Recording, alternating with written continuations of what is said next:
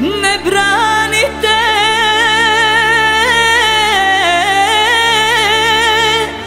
Da ga volim. Grešna vam duša svima.